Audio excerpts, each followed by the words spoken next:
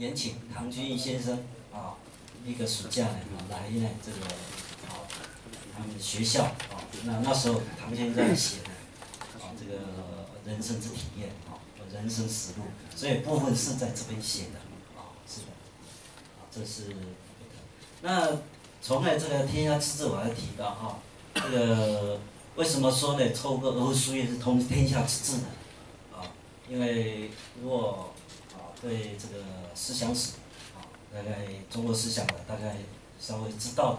所以啊基本上就看宋明理学啊，啊它基本上呢，啊是呢，在都从先秦两汉，然后魏晋，然后这个隋唐佛学大兴之后，啊等于这个什么佛教啊佛教呢，啊在印度佛教在中国呢大兴盛之后，一个呢什么重返儒学的一个运动，啊这个运动竟然长达六百年，所以我们在我们常常把它定位是六百年的儒学重建运动，啊运动，那。这个我跟他说重建运动呢啊，这个跟佛教到底啊啊到底什么同意？所以这边呢啊，其实这些都是学术史上啊啊各位啊理学的啊各位很多啊专家学者啊这个我就都不谈了啊啊不谈啊，我也接着刚才啊两位发言来啊谈到这些诸路异口的问题啊。那刚才像，呃，朱朱先生啊，我觉得他其实真的是，不管在什么领域啊，政治领域他可以做的，那那在学术领域啊，该这个去也呢，哦，这个，哦，从他刚才听的真的是内行哦，对不对？啊，那刚才提提到诸路异同啊，说诸路同的啊，这个我从刚才的这个可以可见的，啊，他刚才在诸路的异同啊。较意见比较倾向唐君先生的，比较接近唐君先生，如果跟某些啊啊相相应来说，好，那这个重建运动长达六百，所以它是一个呢，哦，如果从世界的文化来说呢，它是呢这个什么，哦，面对印度，哦，然后哎，哦整整个面对人生啊，那要为什么要违反的先秦儒学，啊，先秦儒学，所以这个。那这一个如果落到现在，啊，落到当今呢，啊，如果在跟西洋对比的时候，我们会发现啊，这个，呃，中国民族特色哈，中国文化的特色啊，跟西方的一个啊，呃，差异处啊，差异。那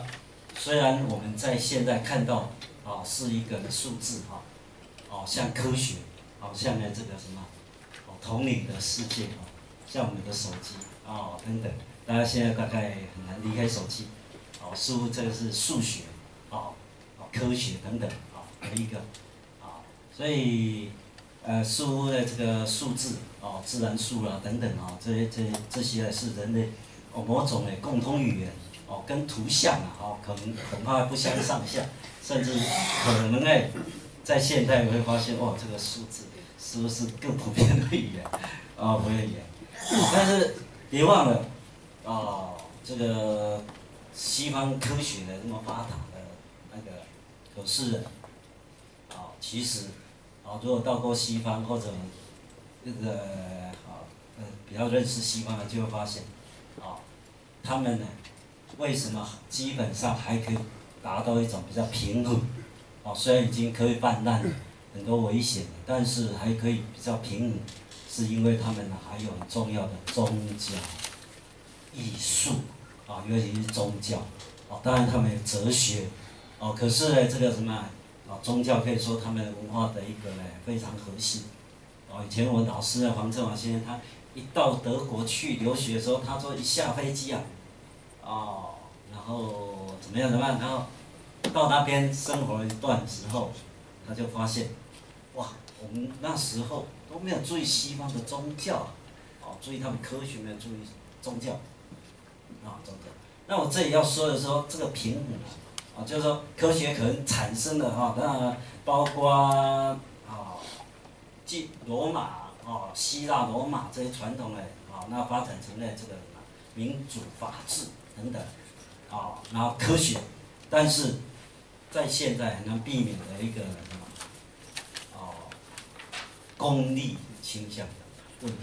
啊，除了这这些环保问题啊，哦，这个是功利功利取向，啊，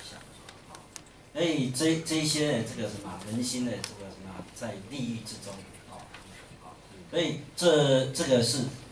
全世界问题，而在呢这个什么，在中国大大陆这边。在台湾，这些都是空头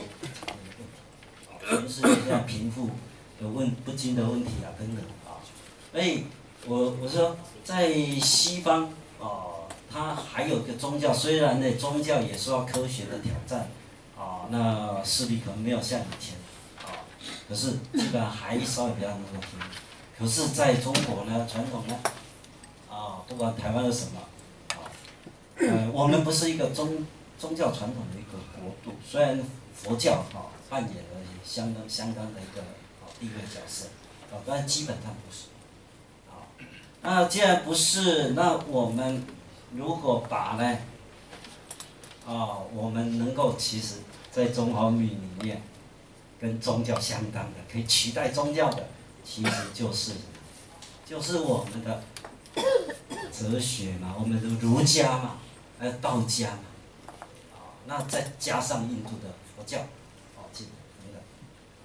所以其实我们在现代，如果我们把儒儒道这些啊，哦，这个中中文这些我们的割弃了，那其实我们学西方都只学他们的一半，哦，或一半都不到，宗教不没有，那我们又没有这个什么可以真正跟西方宗教哦可以取代的，哦，甚至这个什么。这个就是啊，可以相相等的观，啊，这些终极关怀的东西，啊，那我们永远这学一半，最后一定是比西方还糟糕，还落后，是不是还糟糕？所以现在这个啊，呃，到这边能够再重返的中华文化的那个哈，重返儒学，啊，道道家儒学等等。我觉这个是呢，哈，其实是不管就终极来看，终极关心啊，就是宗教层面、人的安身立命层面，还是对现实，啊，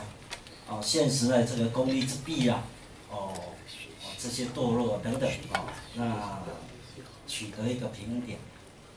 啊，势必啊，这个我想现在到在走向这一个啊，重重返的这个中文化的那个